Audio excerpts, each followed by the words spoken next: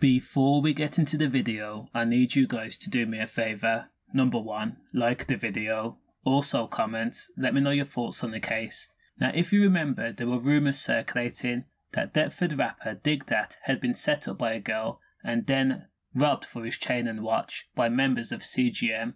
Again, it was a rumour and no supporting evidence was shown.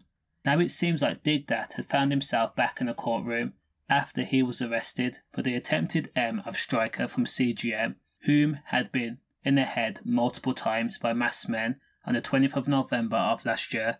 Thankfully, he survived. Now, if the allegations are true, then Dig Dat, real name Nathan Tukolsky, will be considered one of the biggest artists to throw away so many opportunities. Just think about it. At the age of 13, he was jailed for 10 years. He connected with Bouncer and then released Air Force, which was a chart topping single. He then got rich, couldn't be bothered to release music, came back to the music scene, then left, then came back to the music scene, and now, if the allegations are true, then decided to a rival just because of an alleged robbery. He thought being quote unquote real was more important than changing your life. So he's faced an attempted M and also possession of a pistol and live ammo. Now they are locking up your favourite rappers, so the chances are, if they have some real concrete evidence on Dig Dat, it's a wrap.